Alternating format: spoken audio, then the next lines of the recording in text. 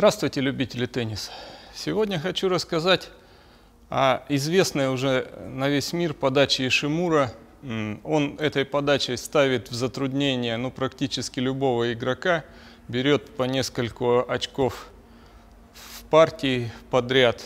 Ну, подача заслуживает внимания и хочется рассказать, как ее освоить. Ну, первое, там несколько, находится несколько секретов, а, понимая которые, можно постепенно прийти к тому, что подача получится, она начнет работать, она начнет приносить а, вам выигрыш. Но помним, как и любая подача, то есть нет каких-то космических подач, есть подача отработанная, доведенная до совершенства, и только тогда она дает ну, все, на что она способна. Итак, первое, чтобы начать осваивать подачу, требуется понять, что вот в этом случае как никогда важна точка касания. То есть вот, давайте поближе подойду. Вот смотрите, вот в этой точке касания, когда он делает подачу, вот так, то есть берем вот так, вот, ну как удобно, тут немножко можно поиграть, у кого какая кисть. Вот такое движение. И вот когда в этой точке мы видим, получается верхнее вращение. Вот практически ребром, там по самому краю, когда прокатывает, получается, вот мяч сюда, прыгает и вперед. И так как делается низко, то есть он очень такой неудобный с верхним вращением, а иногда остающийся два раза на столе. Вот в некоторых случаях он делает вот так, запускает чуть-чуть сюда мяч и делает вот такое движение. То есть мы получаем, то есть получаем вот такое движение, то есть нижнее боковое. И третий вариант, когда делается вот так. Вот. Просто как вот, что вот так подрезка, что вот так подрезка. Но потом имитируется вот этот выход ракетки. То есть вот.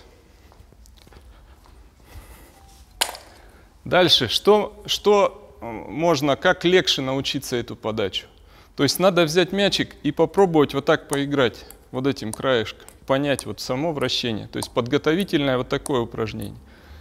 Вращение получаем верхнее, вперед идет, и чуть-чуть боковое. То есть верхнее и чуть-чуть боковое. Верхнее, то есть вот почувствовать вот это, что вы вот так делаете. И мяч крутится. И в бок чуть-чуть. И он тоже уходит в бок, и получается другое вращение. Сюда вот это, сюда вот это. Вот. А, попробовали, потренировались. Следующий секрет или следующий момент. В начале освоения должно получаться с хорошим таким серьезным вращением. То есть вы должны, пусть она не остается на столе, но она должна начать крутиться и быть достаточно резкой. То есть вот встаем, э, это можно у него лучше посмотреть. То есть и вот делаем вот такое движение. Еще один нюанс. На подачу, момент освоения, обязательно смотрим точку касания. Следим за собой. То есть смотрим на мяч и делаем вот такое движение. Вот. И добиваемся немножко скорости.